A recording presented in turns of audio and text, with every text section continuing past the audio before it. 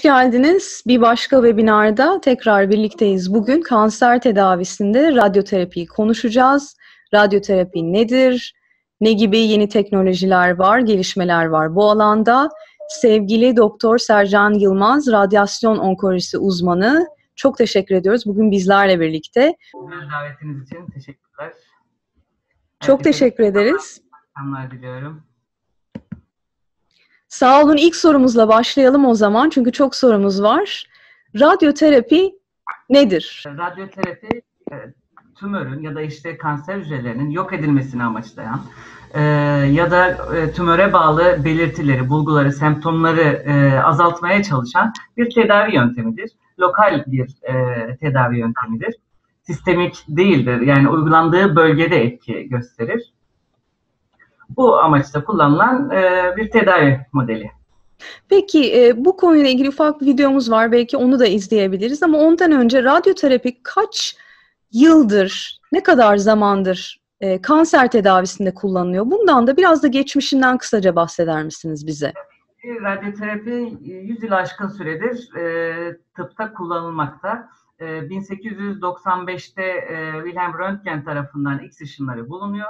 E, ardından 1896'da e, Becquerel tarafından da e, uranyum tozlarıyla yapılan deneyler esnasında radyoaktivite saptanıyor. E, ve ondan iki sene sonra da 1898'de radyum ve polonyum e, Curie kardeşler tarafından bulunuyor. Daha sonra e, 1899 tarihlerinde ilk e, literatürdeki ilk cilt kanseri e, dediğimiz bir bazal hücrelik kanserin e, X ışınlarıyla tedavisi e, uygulanıyor ve bu radyasyon onkolojisinin ilk tedavisi olarak kabul görüyor. Terapi tümör hücrelerinin radyasyon ile öldürülmesi veya büyümesinin durması için uygulanan bir tedavidir. Yüksek yoğunluktaki enerji dalgaları vücutta kanserli bölgeyi hedeflenir. Kanser hücreleri kontrolsüz ve hızlı büyüyen hücrelerdir. Bu hücreler radyasyon aldığında zarar görür. Hemen veya daha sonra büyümeye çalışırken yok olurlar. Kanser hücreleri öldükçe tümör küçülür. Bu esnada normal hücreler ve dokular korunur. Normal dokular bir miktar radyasyondan etkilense de kendilerini onarır ve yeniler. Evet.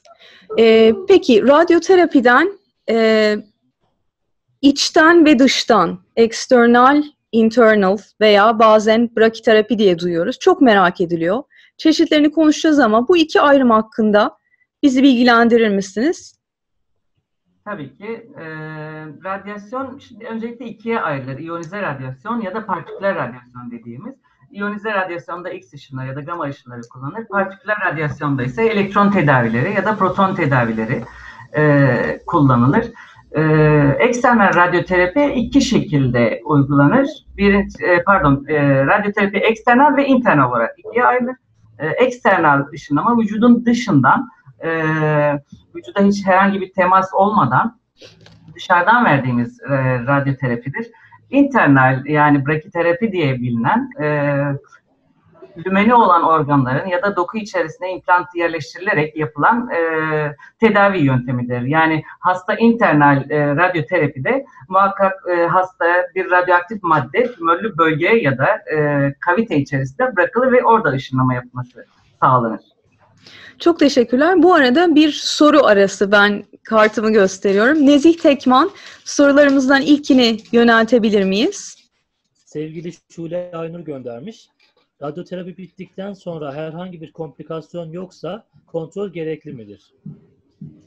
Ee, radyoterapi bittikten sonra kontrol gereklidir. Komplikasyonun olması ya da olmamasına bakmayız. Ee, muhakkak özellikle e, birinci ayda hastanın kontrolde görülmesi gerekir. Radyoterapiye ait yan etkilerin hekim tarafından değerlendirilmesi gerekir. E, ardından da hastanın düzenli takip e, takibe alınması gerekiyor. Yani 3 ayda bir, en az 2 sene 3 ayda bir, daha sonra bu süre 6 aya çık çıkılabilir. E, bu yüzden radyoterapi alan her hastanın muhakkak takipte bir radyasyon onkoloğu tarafından da değerlendirilmesi gerekiyor. Çok teşekkürler. Birazdan zaten konular ilerledikçe yan etkilerden, takipten konuşacağız ama Şimdi geniş bir konu var. Radyoterapi e, biliyoruz ki %50'den fazla rakam değişiyor. Kanser tedavisinde kanser hastaları için kullanılan bir tedavi biçimi. Farklı şekillerde kullanılıyor. Önce buradan başlayalım. Ne gibi durumlarda, ne amaçla radyoterapi kullanılıyor? Cerrahi yerine mi kullanılıyor, yanında mı kullanılıyor? Biraz bize bu konuda e, açıklama verir misiniz? Tabii ki. E, radyoterapi genelde üç e, amaçla kullanılır. Birincisi küratif yani hastalığı tedavi edici e, amaçtır. İkincisi palyatif dediğimiz hastanın tümöre bağlı ya da metastaza bağlı şikayetlerini azaltmak, daha e, iyi bir e, genel durum sağlamak amacıyla kullanılan e, kısa e, tedavi kısa süreli tuttuğumuz bir e, şekilde uygulanabilir ya da yine e, küratif amaçlı e, hasta tedavisini tamamladıktan sonra o bölgedeki nüksü azaltmak adına adjuvan dediğimiz e, nüksleri azaltmak için farklı bir uygulama yöntemimiz de oluyor. Örneğin e, şimdi aslında güzel bir noktada belki bir konuk alabiliriz. E, biraz sonra bu farklı tekniklerden de konuşacağız. Örneğin koruyucu cerrahi yapılmış bir meme kanserinde e, belli bir miktar o anda radyoterapi verilebiliyor belki de veya e, daha sonra tedavi sonrasında alınabiliyor. Bu e, noktada eğer e, Sevgi Sarı Akço Koca bizi duyuyorsun sanıyorum. Duyuyorum Ebru'cum. Peki o zaman senden kısa bir ara alalım. Yeri çok güzel oldu. Meme kanseri tedavisi aldın ve bu tedavinin bir parçası olarak radyoterapi gördün. Bize kısaca bir Evet. aldığın radyoterapiyi anlatır mısın? Kaç gün sürdü? Ne kadar aldın? Ara verildi mi? Sonrasında bir e, yan etkiler yaşadın mı? Bir, bize biraz bir özet verebilir misin bu konuda? Tabii ki. Herkese öncelikle iyi akşamlar diliyorum. Ee, ben Hacettepe Üniversitesi'nde radyoterapi aldım. 35 gün toplam ve günde 5'er dakikalık bir süreyle radyoterapi aldım.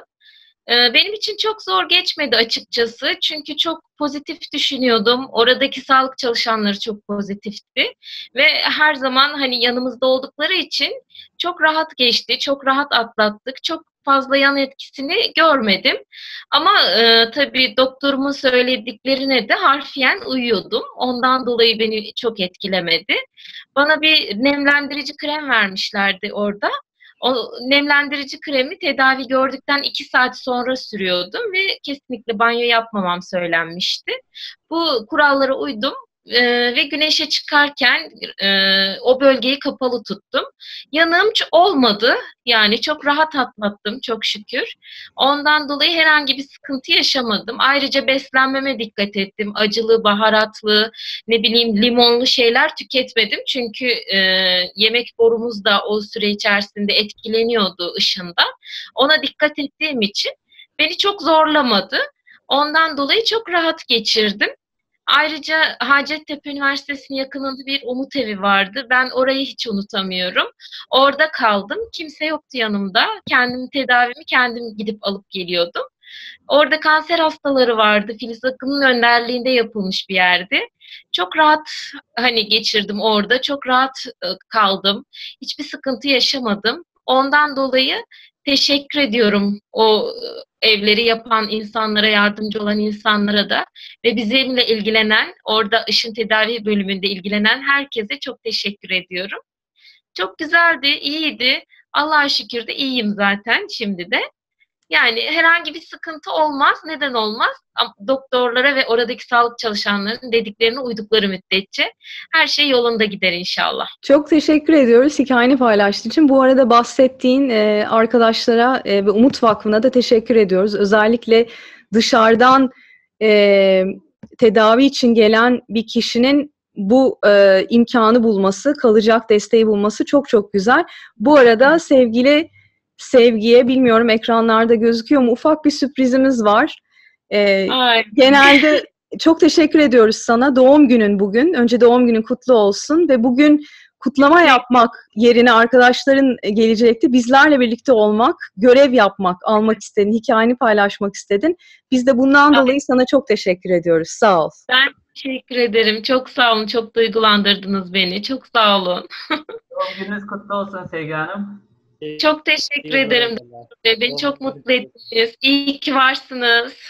Çok teşekkürler. Sercan Hocam e, yine sorularımızdan devam edelim. Sevgi çok teşekkür ediyorum tekrar sağ ol. Evet, e, radyoterapi hangi kanserlerin, her kanserde değil ama e, hangi kanserlerin daha çok tedavisinde nasıl kullanılıyor? Bu konuda da bize biraz e, örnekler verebilir misiniz? Hatta bir slaytımız var, onu da belki paylaşabiliriz arkadaşlar için. Tabii ki radyoterapi e, vücutta hemen hemen her bölgede oluşabilen e, kanserlerde ya da tümörlerde uygulanabilecek bir tedavidir. Yani meme kanserleri, akciğer kanserleri, e, beyin tümörleri, baş boyun, jinekolojik ya da gastrointestinal, e, kemik kas tümörlerinde e, hemen hemen her kanser tipinde uygulanabilecek rahatça ve yaygın kullanılan bir tedavi modeli. E, onun dışında bazı e, kan hastalıklarında, lösemide, işte nüksleri engellemek amaçlı yine uygulanabiliyor. Lenfomalar çok e, önemli bir tedavi e, modelidir. Çok sık kullandığımız bir tedavi yöntemidir. Ee, biraz evvel biraz bahsettik. O konuda biraz açar mısınız? Aynı zamanda palyatif kullanımı da var değil mi radyoterapinin? Palyatif, palyatifteki amaç semptomatik tedavidir. Yani e, hastanın bir semptomu vardır e, tümöre bağlı bir semptom vardır ve siz e, bu semptomları geriletmek e, adına radyoterapiyi kullanırsınız. E, örneğin mesela akciğer tümörlerinde e, nefes darlığı, öksürük, e, kanama ya da e, bunun dışında medulla spinalis, obinlik, vertebral kolona bası ya da e, onun dışında beyin tümörlerinde e, yine kafa içi basınç artmasına bağlı bulantı, kusma, baş ağrısı, görmede bozukluk bu gibi şikayetlerin e, azaltılması, engellenmesi ve hastaya daha iyi bir yaşam kalitesi sunma adına palyatif tedavi de radyoterapi kullanıyoruz. Bir sorumuz gelmiş, bunu ben yöneltmek istiyorum. Radyoterapinin kemoterapi ile birlikte eş zamanlı kullanımı var mı? Ne gibi durumlarda kullanılıyor? Tabii ki e, radyoterapinin çok büyük bir tedavi e, kısmı kemoterapiyle birlikte. Özellikle radyoterapi, e, radyo duyarlaştırıcı dediğimiz kemoterapetik ajanlar kullanılarak e, radyoterapiyle birlikte kemoterapi kullanılır. E, bunun dışında birçok kanser tipinde e, eş zamanlı kemoradyoterapi uyguluyoruz. Özellikle küratif tedavilerde. Palyatif tedavilerde ise daha çok hastanın e, tedavi önceliğine göre yani semptomları çoksa, palyasyon gerektiriyorsa o zaman önce radyoterapiyi alabiliyoruz. Ya da bekleyebilecek durumdaysa, yaygın e, metastazları varsa kemoterapiyi öne alıp hastayı takip ediyoruz. Eğer şikayetleri arttığı takdirde biz devreye giriyoruz. Bir e, hastanın eğer genel durumu müsait değilse veya yaşı çok ilerlemişse, başka e, komplikasyon yaratabilecek hastalıkları varsa, cerrahiye uygunsa durumu ancak belli nedenlerden dolayı ameliyatı kaldıramayacak, yapılamıyorsa bu tip durumlarda radyoterapi uygulanabiliyor mu? Tabii ki e, buna e, medikal inop dediğimiz ya da bazen hasta kendisi ameliyat olmak istemiyor. E, bazı hastalıklarına bağlı anestezi almaması gerekiyor ya da ameliyatı işte kalp rahatsızlığı olabilir, akciğer e, solunum fonksiyon testleri yeterli olmayabilir. E, ameliyata uygun olmayan hastalarda biz yine küratif dozda yani tedavi edici e, dozda radyoterapi uyguluyoruz. Yani uyguladığımız hastalarda oluyor. Çok teşekkür ediyorum. Bir sorumuz daha alalım. Yine kartımı gösteriyorum. Nezih Tekman soru alalım lütfen. Sevgili Songül Özataş göndermiş. Bir hasta için radyoterapi ne zaman gereklidir? Dördüncü evre meme kanserinde kemoterapi, radyoterapi öncelikli tedavi midir? Hasta ne zaman radyoterapi gereklidir? Ne zaman gereklidir? Dördüncü evre meme kanserinde radyoterapi öncelikli tedavi midir? Yani e, kanser tedavisine hemen hemen hastalar e, tedavinin herhangi bir dönemde muhakkak radyoterapi ihtiyacı duyabiliyor.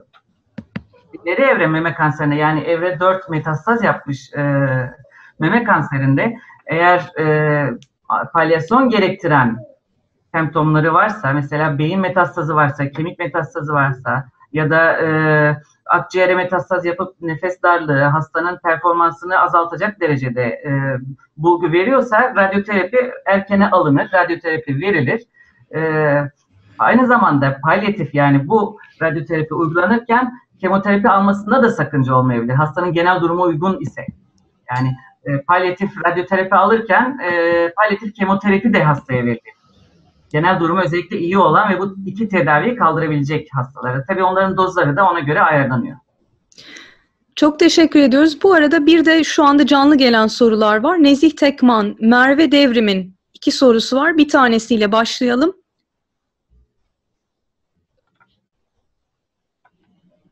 QA bölümünde bize gelen sorulardan. Şuradan mı? Evet ben aslında yöneltebilirim bunu. Bir tanesi e, radyoterapi esnasında çizilen çizgiler silinmesi durumunda. Örneğin terleme örneğini vermiş Merve Hanım. Ne yapılması gerekir? Birazdan bu konuya geçeceğiz ama bu bir geçiş transition'ımız olsun bizim. Konuşalım ne yapılır? Çizgiler çiziliyor. E, bir işlevi var hepsinin. Silinirse ne olması, ne yapılması gerekir demiş Merve Hanım. Şimdi öncelikle o çizgilerin silinmemesi gerekir hasta tedavinin başında yani e, her şeyden daha çok onlara dikkat etmesi gerekir. Çünkü bunlar silindiği zaman bazı hastalarda e, aynı alanı oturtmakta güçlük çekebiliyoruz ve dolayısıyla bütün tedaviyi baştan alma durumumuz oluyor. Yani e, tedavinin basamakları var işte hastanın simülasyonu, planlaması ve tedavi setupları ve ardından e, alacağı tedaviler. Bütün bu e, işlemleri, basamakları tekrarlamak durumunda kalıyoruz. Bu yüzden bizim için en önemlisi bunları korumak. Hastanın özellikle yapması gereken budur. Peki çok teşekkür ederiz. Ee, bir sonraki sorumuzu Nezih Tekman hazırlayalım. Fakat sorunuza geçmeden evvel eğer imkan olursa bu konuda bir video alabilir miyiz hocam? Günaydın Ayşe Hanım. Ben radyasyon teknikeriniz Merve. Her seferinde her gün geldiğinizde aynı pozisyonda olmanızı istiyoruz. Şimdi işaretlere bir bakayım. Çok güzel işaretler yerinde kalmış. Her şey İşaretler. şey harika gözüküyor. Şimdi sizi biraz yükseltip pozisyonlandıracağız. Radyasyon tedavisi alırken bulunduğunuz yerde hareketsiz kalmanız önemlidir. Böylece radyasyon ışınları her seferinde aynı bölgeye hedeflenir. Evet Ayşe Hanım bitmek üzere. Biraz daha sabır lütfen. Çok iyi gidiyor. Evet, bitti. Artık kalkabilirsiniz. Çok teşekkürler. Böyle bir e, segman göstermiş olduk. Şimdi tedaviye aslında madem buradan güzel bir geçiş olacak değil mi? Planlama ve tedaviye geçebiliriz. Burada evet. işaretleri de gördük. Karın bölgesine yapılan bir radyasyon tedavisiydi sanıyorum. İşaretler işte o çizgiler dediğimiz hakikaten bizim için çok önemli. Yani teknoloji ne kadar ilerlese de biz orayı muhakkak çizmek zorunda kalıyoruz.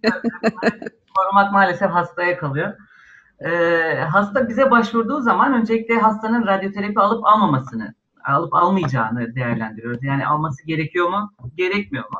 Bunu işte hastanın e, gerekli anamnezinden, öyküsünden ya da e, e, fizik muayenesinden tedavi kararı çıkarıyoruz ve tedavi kararında ne amaçla radyoterapi uygulayacağımız yani bu hastalığı tedavi edici mi yoksa hastanın sadece semptomatik bir tedavi olup olmayacağını e, değerlendiriyoruz. Ardından e, nereye tedavi edeceğimizi belirliyoruz ve bu e, belirlediğimiz alana yönelik de hastanın simülasyon dediğimiz yani e, tedavi tomografisi, tedavi amaçlı bir tomografisini çekiyoruz. O tedavi edeceğimiz bölgeye yönelik.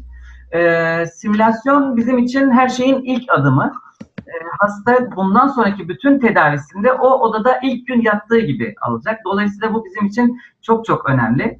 E, hastanın rahat olması, e, bu simülasyon pozisyonunun yani tedavi alacağı pozisyonun hasta için rahat, kolay uygulanabilir olması, yine e, tekniker arkadaşımızın da çok zorlanmadan hastayı rahatlıkla kaldırıp e, yatırabileceği bir pozisyon olması gerekir. E, aynı zamanda e, civardaki e, çevre dokuları koruyabilecek şekilde bir pozisyonlamada verilebilir. E, tekrarlanabilir olması önemli. Ve bu simülasyonda hasta çizildikten sonra e, bu tomografi görüntüleri tedavi planlama sistemine aktarılıyor. Tedavi planlama sisteminde biz hastanın daha önceki görüntülerinin e, kılavuzluğunda e, tedavi bölgesini kesit kesit belirliyoruz. Hangi bölgeye işte tümörün uzanımları, çevre dokuyla ilgisi o bölgeleri ayarlıyoruz ve bunları bir marj, e, bir güvenlik marjıyla e, çevreledikten sonra hastanın tedavi bölgesini oluşturuyoruz.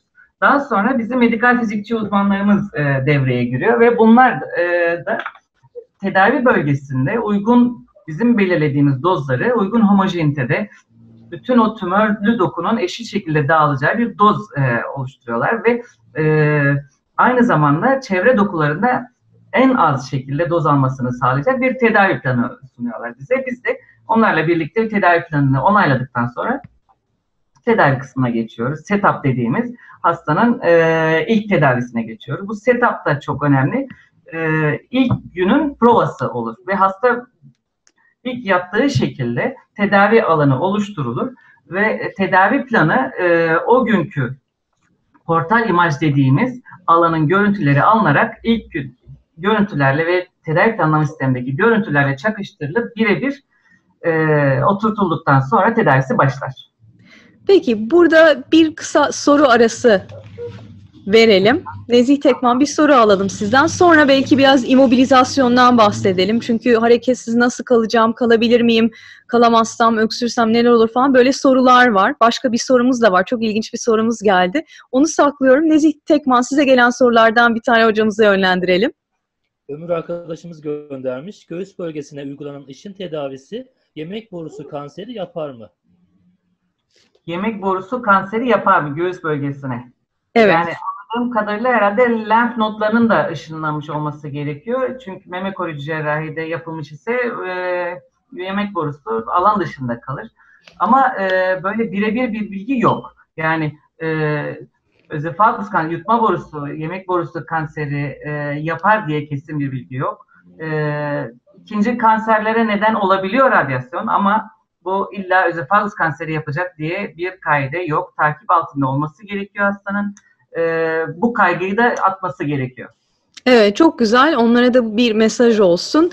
Bazen e, bilgiler farklı yorumlanıyor, okulana, okunana, okunulabiliyor. O yüzden sormakta fayda var. Güzel oldu. Yerinde bir soru oldu belki cevaplamamız. E, bana bir soru geldi. Bir e, meme kanseri yine tedavisinde radyoterapi alan bir arkadaş hı. sol bölgeye alıyor radyoterapiyi, sol memenin olduğu yere. Ve sağ bölüme alınması ile sol bölüme alınması arasında bir fark var mıdır? Sol tarafta kalbimiz olduğu için yan etkiler açısından veya dikkat etmek açısından veya risk açısından bu konuda görüşünüzü merak ediyor. Yani e, tedavi seyri açısından bir fark yok. Her iki tarafta da tedavi gerek tedavi dozları, gerek tedavi şekilleri, gerek tedavi e, günleri aynıdır, değişmez.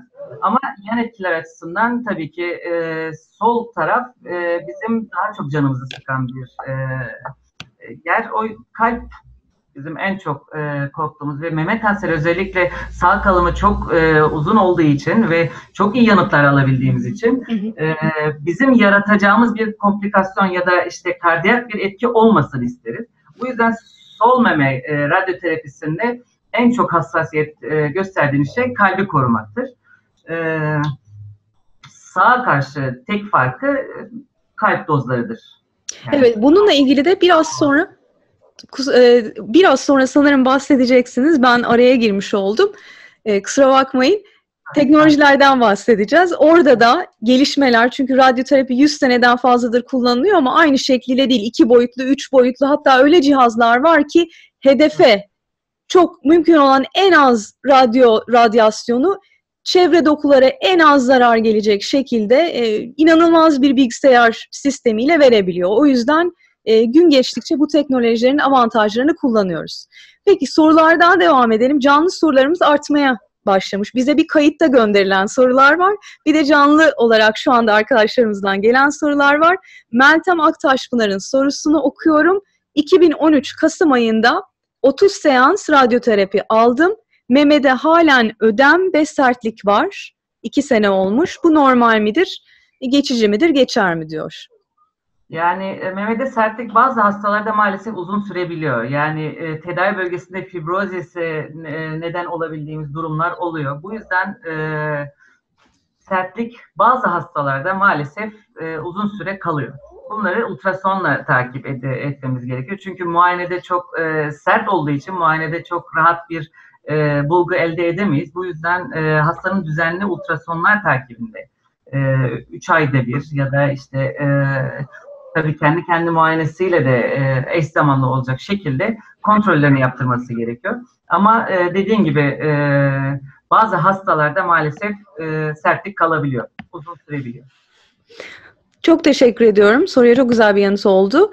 İmobilizasyon demiştik en son. Sonra başka bir soruyla biraz konuyu dağıttık ama geri dönebilir miyiz? Bundan biraz bize bahseder misiniz? Hatta ben de slaytlarla, e, gönderdiğiniz slaytlarla bu konuyu destekleyeyim. Tabii ki. İmmünomizasyon dediğimiz hastanın e, sabit durması e, na dayanan bir e, yöntem. Yani hastanın biz tedavi boyunca sabit kalmasını isteriz. Sabit kalsın ki bizim hedeflediğimiz tümörü kaçırma e, kaçırmama durumumuz olsun. E, bu yüzden ilk gün yani e, hastanın CT simülasyon, simülasyon tomografisi çekilirken hastayı yani bu açıdan gayet e, bilgilendirmek gerekiyor. Çünkü radyasyon onkolojisi hakikaten çok farklı bir branş. E, mesela cerrahiye gidersiniz, cerrah sizin ameliyat kararınızı verir. E, ondan sonra anestezi sizi bayıltır, ameliyatını yapar, gidersiniz. E, Evet. Medikal onkolog yine e, kan sonuçlarınıza bakar, ilaçlarınızı verir ve sizi takibe alır. Fakat radyoterapi böyle değil. Radyoterapi hakikaten hasta uyumunun çok önemli olduğu bir e, tedavi alanı. E, hasta hakikaten nasıl, ne yapacağını, hissedip hissetmeyeceğini, bu tedavinin aşamalarını, yan etkilerini e, bütün çerçevesiyle e, bilmesi gerekiyor. Ve bu yüzden e, hastanın tedaviye uyumunu sağlayabilmek için de bizlere de çok ayrı bir görev düşüyor. Simülasyonda işte immünizasyon aletleri kullanıyoruz. Bu tümörün yerleşim yerine göre. Mesela meme kanserlerine, demin de e, bir görsel vardı. E, meme kanserlerine meme bortları dediğimiz, akciğerlerde her iki kolu tedavi bölgesinden uzak tutacak bir e, T-board dediğimiz aparatlar var. Tabii ki baş boyun kanserlerinde yine baş maskeleri kullanabiliyoruz. Maskeler e, çok yaygın kullanılan, çok e, sık kullandığımız hasta stabilizasyon aletleri. E, bu gibi immobilizasyon aletleriyle hastanın e, en az şekilde hareket etmesini sağlıyoruz. Tabii kendi e, katkısıyla da ortak bir çalışmayla öyle oluyor. Çok teşekkürler. Peki bir soru daha alalım. Ondan sonra yine bu tedavi ile ilgili e, devam edeceğiz konuşmamıza. Nezih Tekman soru sizden rica ediyorum. Sevgili Merve Devrim göndermiş. Sol memesine mastektomi yapılmış. Ee, göğüs bölgesine ışın tedavisi uygulanacakmış. Yan etkileri merak ediyor. Yan etkiler nedir? Boğaz bölgesine ne gibi yan etkiler olabilir diye. Sesiniz çok az geliyor. Biraz daha Ben soruyu tekrar edeyim. Merve Devrim'den gelmiş. Evet seslerinden geldi. Mastektomi yapılmış, radyoterapi alacak. Yan etkiler ne olabilir diye merak ediyor. Birkaç başka sorusu daha var. Onları da alacağız akış içerisinde. Aha. Şimdi e, mastektomi yapıldığına göre e, hastanın cilt dozu bizim e, hedef alanlarımızdan birisi oluyor. Yani hastanın e, cildinin yüksek doz almasını isteriz. Çünkü meme kanserlerinde e, en sık nüksler göğüs duvarında olur. Göğüs duvarında ve cerrahi e, alanın, cerrahi yaranın üzerinde olur. Dolayısıyla biz e, çeşitli m, tedavi aletleri kullanarak o cilt dozunu arttırmaya çalışırız. Hastaya da bu şöyle yansır. İşte benim derim kar, cildim karardı. işte yanıklar oluştu. Halbuki bu bizim e, bilerek, isteyerek yaptığımız bir şey. Yani e, o cilt bölgesinin doz almasını istediğimiz için biz o e, bölgenin bu şekilde bir e, yan etkimiz oluyor. Bunun dışında eğer e, lenfatik bölge ışınlanacaksa yine yutma borusunda e, hasara yönelik, e, hasardan dolayı yutmada güçlük, e, öksürük olabilir, e, halsizlik olabilir hastada.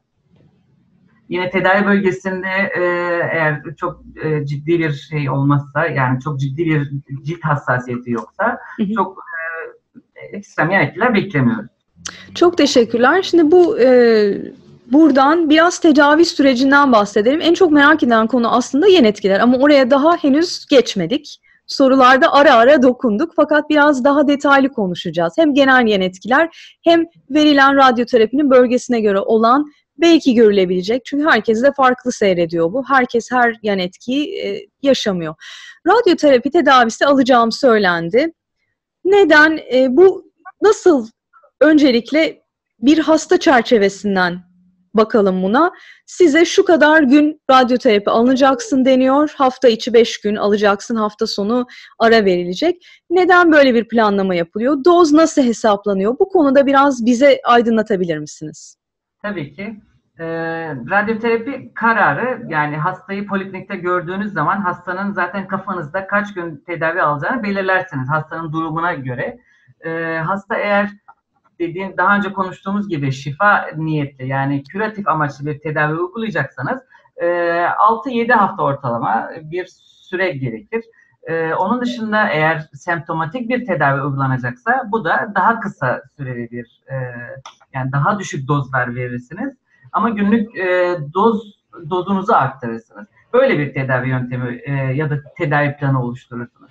Onun dışında e, yani bu tedavi kararlarını verirken hastalığın seyri, hastalığın durumu, e, hastanın durumu yani bazen tek günde e, ışınladığımız hastalar olabiliyor. Hasta işte çok mobil olamıyorsa, çok hareketli olamıyorsa e, kemik metastazlarını özellikle tek gün tedavisini verip taburcu ettiğimiz hastalarımız oluyor.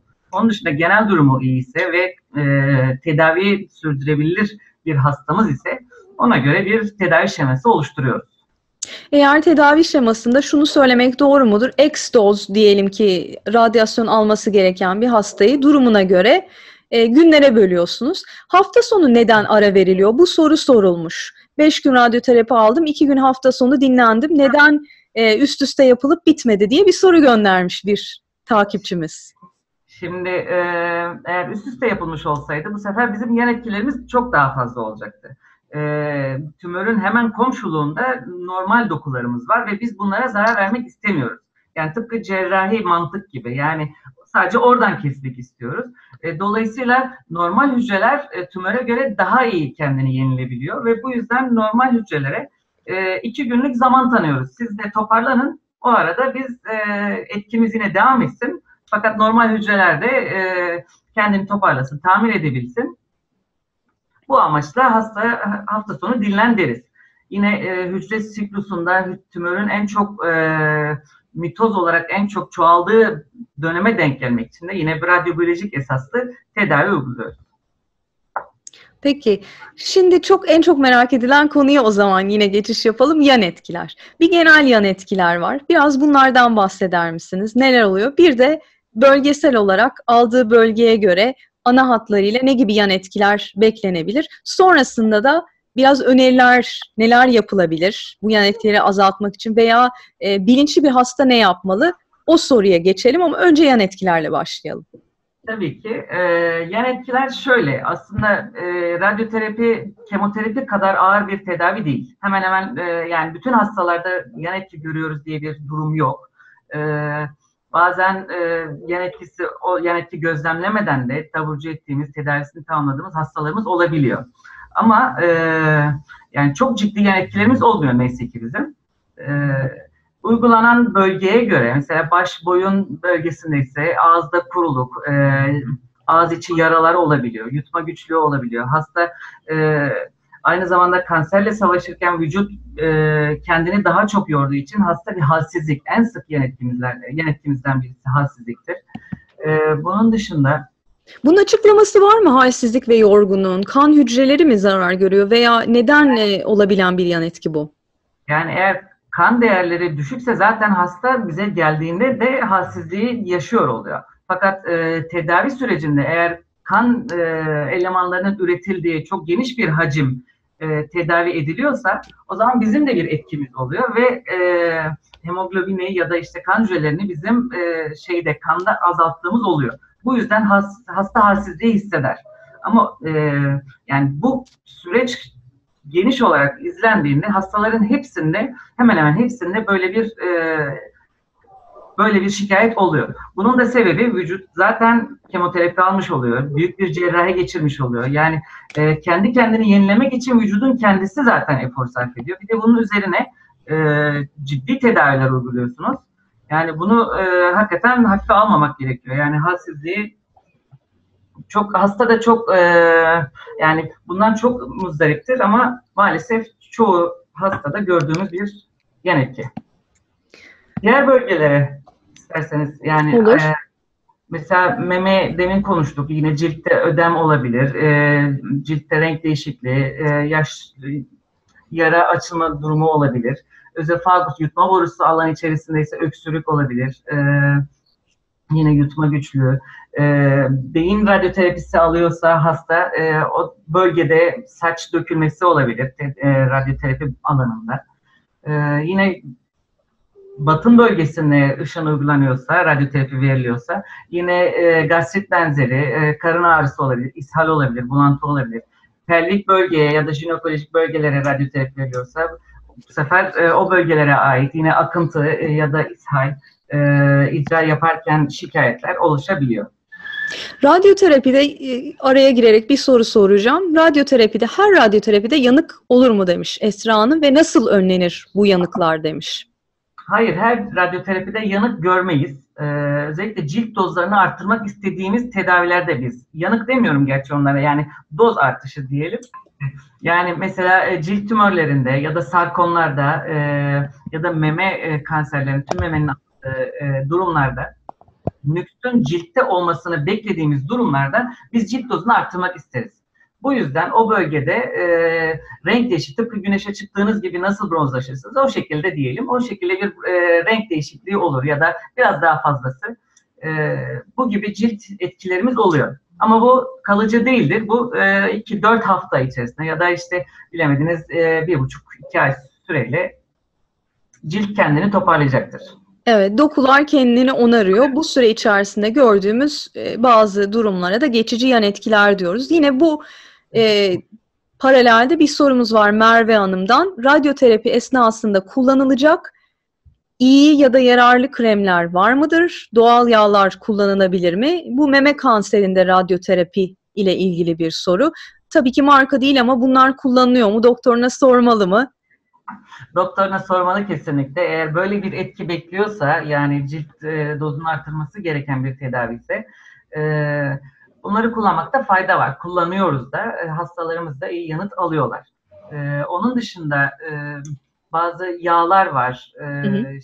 Şimdi vermeyeyim. E, aktarlardan ya da dışarıdan işte eczane dışı yerlerden temin edilen yerler var. Bunların radyoterapiyle e, etkileşimini bilmiyoruz. Bu yüzden ben hastalarıma önermiyorum. Sadece e, standart tedavide kullandığımız ilaçları e, reçete ediyorum. Onun dışında önermiyorum ama radyoterapi bittikten sonra tabii ki bizlere danışarak kullanabilirler. Çok güzel. Böyle e, doktorlarıyla bağlantı içerisinde her tür yan etkiye yönelik yapılabilecek, alınabilecek önlemler. Buyurun hocam. Bir de e, radyoterapi harici kemoterapi alırken özellikle e, çok yaygın bir e, alışkanlık var işte aktardan şunları şunları aldık kullanıyoruz. Yani bunlar çok ciddi e, sonuçlar doğurabiliyor. Özellikle kemoterapi, e, çoğu kemoterapetik ajan karaciğer üzerinden metabolize olduğu için e, bu tür bitkisel tedaviler e, karaciğer yetmezliğine kadar götürebiliyor hastaları. E, lütfen uzak duralım. Peki çok güzel bir uyarı oldu. Bu arada konularımız var, devam edecek ve sorularımız var. Ömür Efe hatta mısınız? Evet abla hattayım. Anonim bir sorumuz var. Alabilir miyiz? Evet ben sorayım. Pelvis bölgesine alınan radyoterapi cinsel ilişkide sorun oluşturur mu? Çok güzel bir soru. Ee, soranı tebrik ediyorum. Genelde e, fazla gündeme getirilmiyor ama pelvis evet. bölgesine alınan duydunuz herhalde. Hocam ne diyorsunuz? Yani e, tedavi alan erkek ya da bayan olmasıyla birlikte çabuk e, bir değişiklik olur. Bayanlarda e, yani vajinal bölgede kuruluk olabiliyor. Özellikle tedavi sürecinde e, çok önermiyoruz. E, çünkü akıntı olabiliyor, e, vajinal e, hassasiyet olabiliyor. Bu yüzden e, tedavi sürecinde en azından e, tedavi tamamlanıp hasta şikayetleri kontrol altına alınana kadar e, biz en azından ertelemeyi tercih ediyoruz. Fakat erkeklerde bu çok e, ciddi bir yan etki olmuyor. Eğer büyük bir ameliyat geçirmemişse ya da ameliyata bağlı komplikasyonlar yoksa e, erkeklerde çok e, mukoza dediğimiz bölge çok e, yaygın olmadığı için erkeklerde çok ciddi bir etki görmüyoruz. Daha çok kadınlarda işte o bölgede yanma, ağrı, bazen ülserasyon yani yara açılması olabiliyor. Hasta zaten kendini e, rahatsız hissedecektir zaten tedavi boyunca. O yüzden takipte kalması ve iyileşme sürecinde sonra en azından öneriyoruz hastalara.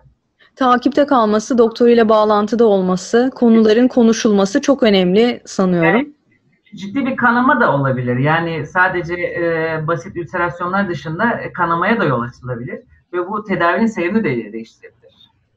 Evet. Bu da bir uyarı ol, o, olarak e, gündeme getirelim. Bir sorumuz daha var Müge Hanım'dan.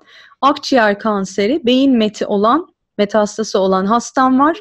Hem akciğer hem de beyne radyoterapi uygulanmış. Beyin metastası tekrarladıktan sonra ardından siber yapılmış aynı yere. E, pardon, aynı yere iki kez radyoterapi yapılmayacağı söylenmiş. E, şu anda akciğer yine tekrarladı yine nüks var ve ikinci kez radyoterapi yapılabilir mi diyor. Çünkü ikinci kez aynı yere radyoterapi yapılamaz denmiş kendisine. Yani e, şimdi şöyle ikinci seri ışınlama dediğimiz hastaların ihtiyacına göre tekrar doz e, ekleme zorunda kaldığımız durumlar olabiliyor.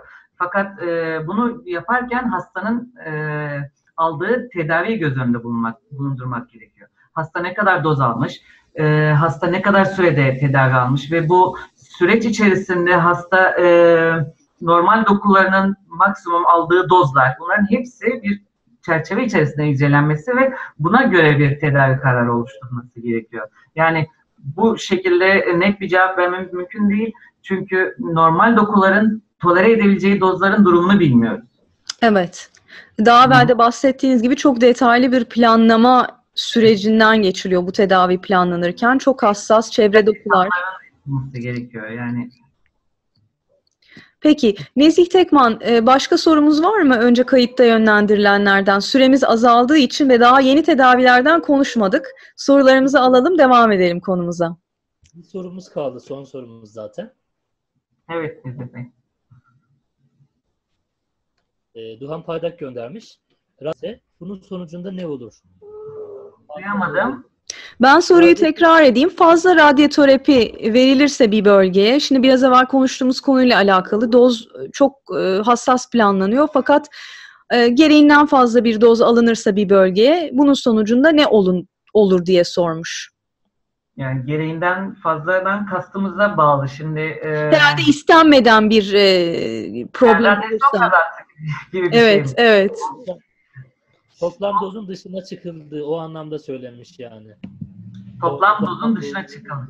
Yani e, şimdi bizim tabii ki bu aş, bu soruya cevap verebilmemiz için o uygulanan e, tedavinin uygulandığı bölgenin yanındaki organları bilmemiz gerekiyor. Yani o organlar fazla doz aldığı zaman nasıl bir etki çıkarırlar bunları değerlendirmemiz gerekiyor. Ama zaten bizim e, cihazlarımız çok ciddi boyutta e, doz vermemizi engelliyor. Yani bunların belli bir şeyleri var. E, isteseniz de bazen yüksek dozları veremiyorsunuz. Yani kazaren de olsa.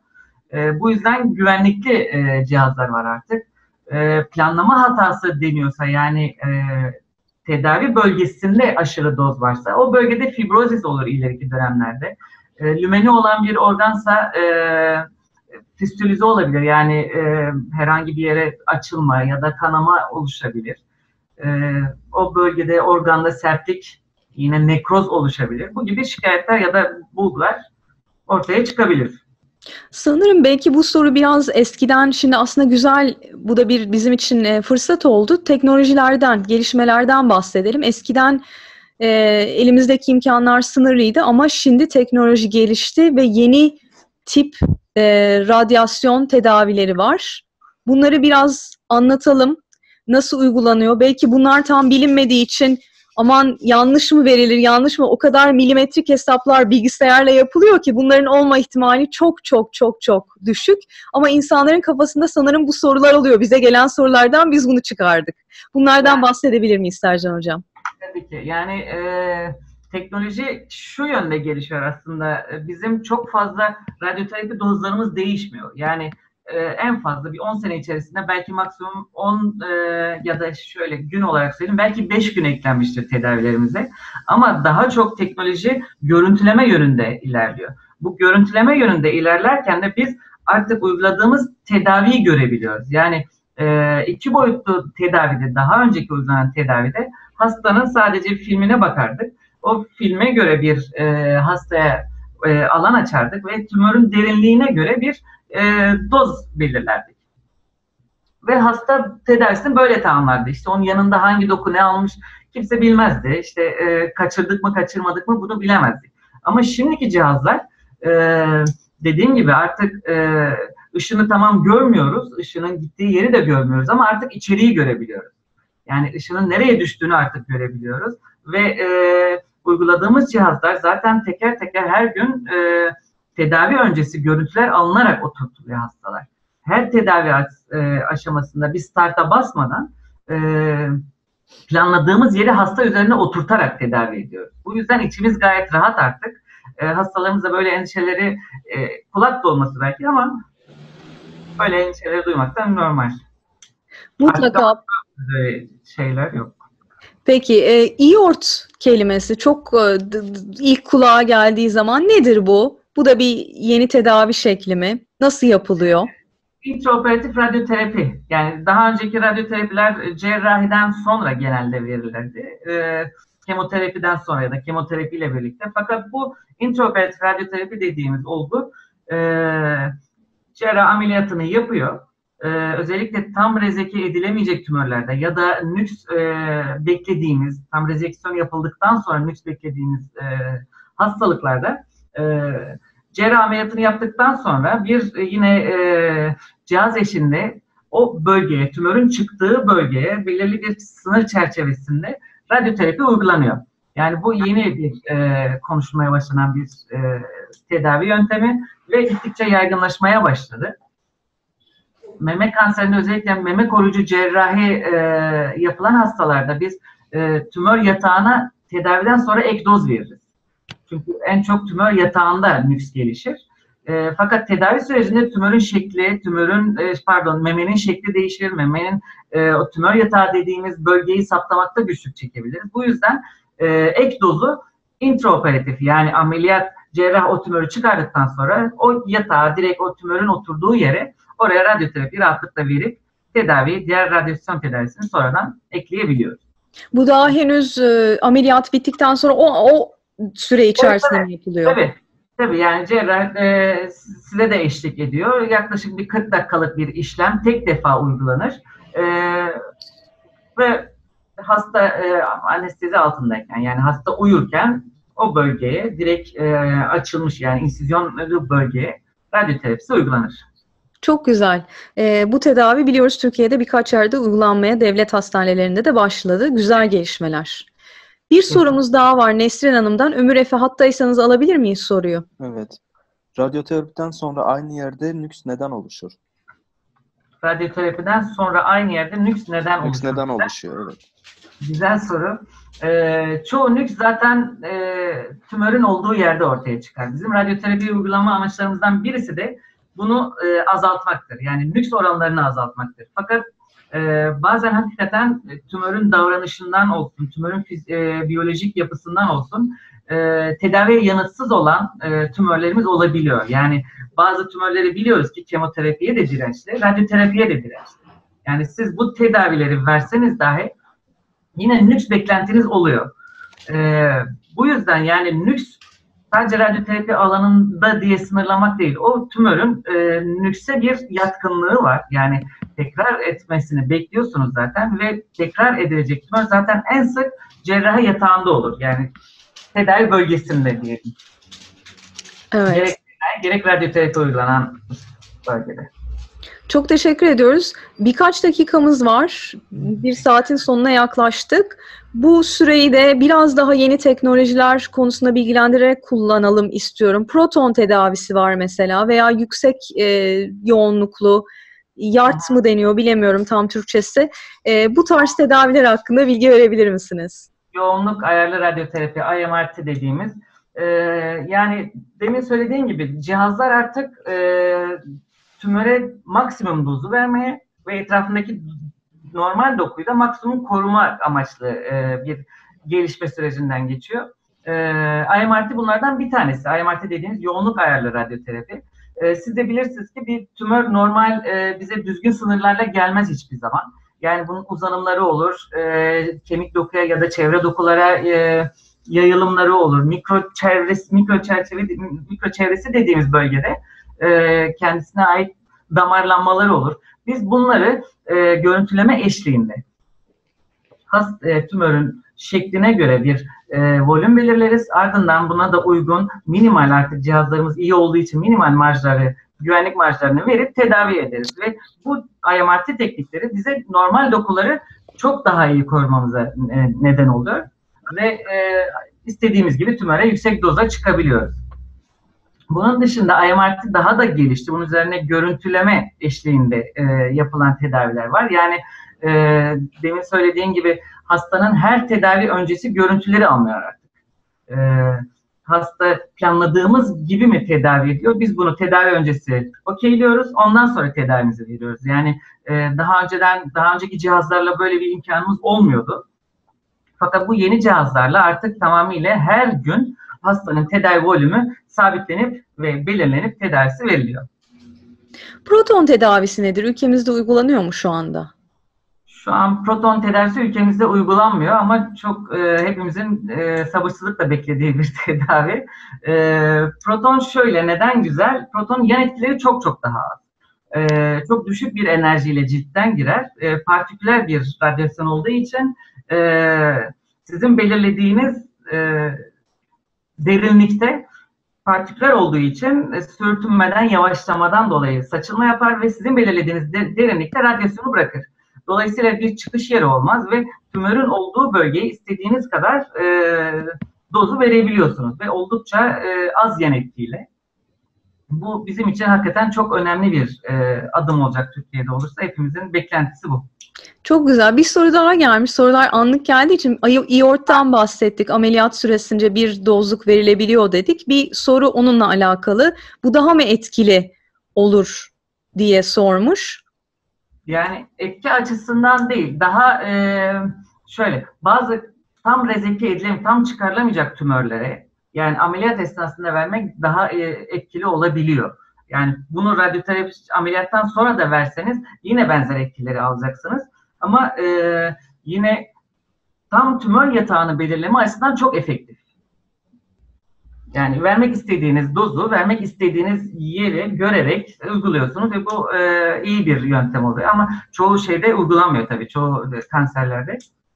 Yani memede olabiliyor, sarkomlarda, yumuşak doku sarkomlarında, batın içi, ameliyatların zor olduğu, işte tam çıkarılamayacağı yerlerde. Bu gibi tümör yerleşim bölgelerine göre intraoperatif radyoterapi deneniyor, yapılıyor. Bunu e, konsey mi karar veriyor? Bütün e, cerrahınızın, radyasyon onkolojinizin beraber olduğu bir ekip birlikte mi karar veriyor buna? Tabii ki, tabii ki. Yani e, görüntüler eşliğinde cerrah yani size söyler ben bunu rahatlıkla çıkarabilirim ya da çıkaramam. O zaman biz e, bir e, ameliyata birlikte gireriz. Birlikte e, yani ekip olarak işlemler yapılır. E, onun dışında yine radyolog tabii ki çok e, bize bu konuda katkı sunuyor. Bir ekip halinde bu kararlar alınıyor. Çok teşekkürler. Bu konuda da aydınlatmış oldunuz. Bizim bunları e, doktor ekibimizin konseyin kararları, düşünceleri. Biz de tabii bu ekibin içerisinde, sağlık ekibin içerisindeyiz ama onların e, e, öngördüğü şekilde düzenlenen bir tedavi. Peki süremizin sonuna geldik. Çok teşekkür ediyorum size. Ama sormak da istiyorum. Bize bugün burada olanlara ve sonra izleyecek olanlara vermek istediğiniz ana mesajlar var mı? Ee, kanser tedavisi zor bir süreç biliyorsunuz. Ee, kanser adı gibi tedavisi de büyük, e, tedavisi de ağır.